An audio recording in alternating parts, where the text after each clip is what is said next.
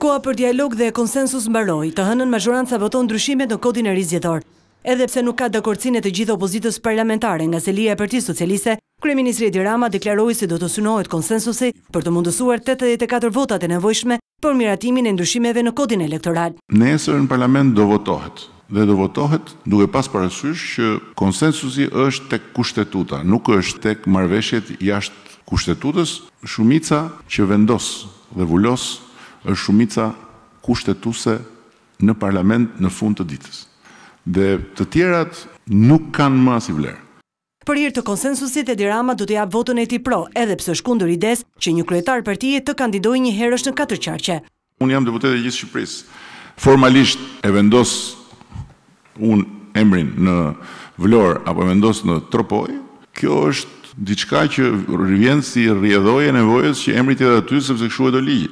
I bindur në fitoren e një mandati të tretë qeverisës, për kryeministrin në përballjen e njëzet e pesë prillit, humbësi më i madh mban emrin e presidentit Ilir Meta.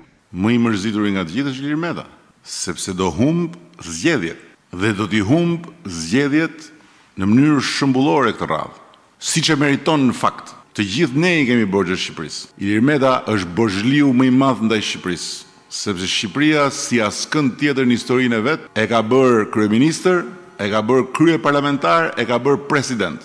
Ça do më shumë ky njeri që nuk rri rehat një sekondë të vetme.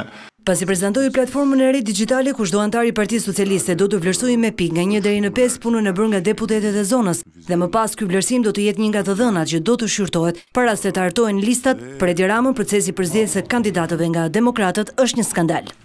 Nuk kam parë të merreni me këto skandale që po ndodhin me këtë procesin e komisionit Nishani.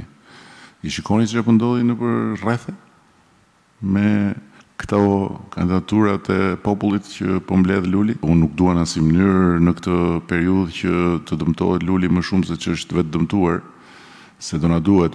Kur duhen edhe shtatë muaj nga dita e zgjedhjeve dhe e kaluara tregon se shumëçka ndryshon në mjedisin politik. Edi Rama e përjashton mundësinë e një koalicioni me Lulzim Bashën. Në rast se populli nuk e votëbeson për të qeverisur i vetëm, ai paralajmëron largimin. Ditën që shqiptarët nuk do të më besojnë mua që të jem në.